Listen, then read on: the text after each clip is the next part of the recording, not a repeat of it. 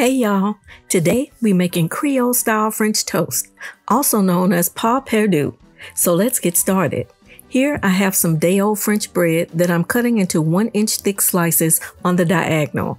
Creole and Cajun style French toast is typically made with bread that's a couple days old. You can use older bread that is hardened if for some reason you have it, but hard bread requires a longer custard soak. I always found it strange that people think Creole French toast is always made with stale bread that's brick hard. You can definitely hard stale bread, but that's not the everyday norm. Now, once we get our bread cut, let's move on to the custard. In a deep dish, we mix together some cane sugar, a bit of self-rising flour,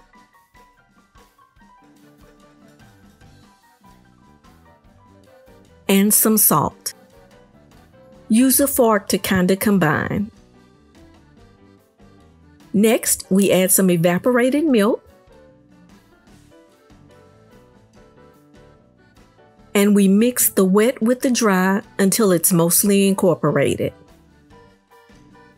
Then we mix in one large egg plus one egg yolk. The camera battery went out, and because I already mixed and put the egg in, this mixing is just for show. Let's add some melted butter. And we want to stir that in.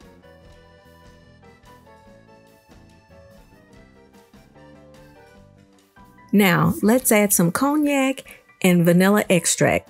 Hennessy is what I use. This is not sponsored, so please use your brand of choice. You can also use brandy or rum.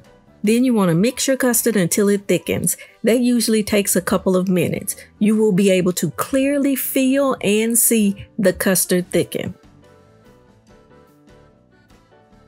Just like this. This is about an inch and a half of vegetable oil, heat to 375 degrees Fahrenheit. Yes, traditional Creole pain perdu is deep fried, not skillet fried like the traditional American French toast. Next, soak the bread in the custard. It only takes about 10 to 30 seconds on each side for the custard to soak into the bread. You want the inside of the bread to be filled with the custard, but not so much that the bread falls apart. Use the tines of your fork and poke into the bread to get a feel for when the custard has soaked through. Once the custard has soaked into the bread, allow the excess to drip off. And then we fry.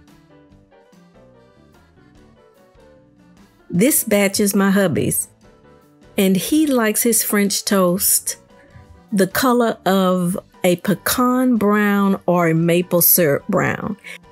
This usually takes about three to four minutes per side. You will also be able to tell readiness when the oil bubbles die down. Adjust the cooking time to get the exterior color and interior softness you want. This batch is mine.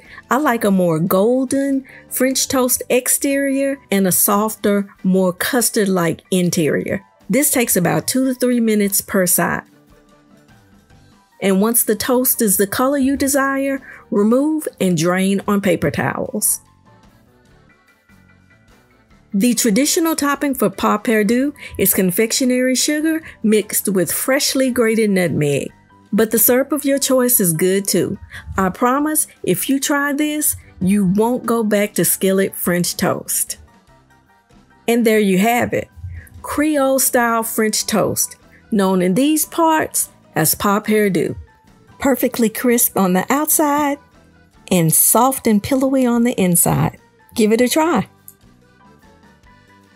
And remember, when you mix a little bit of Creole with a little bit of Cajun, that's good eating. See y'all next time.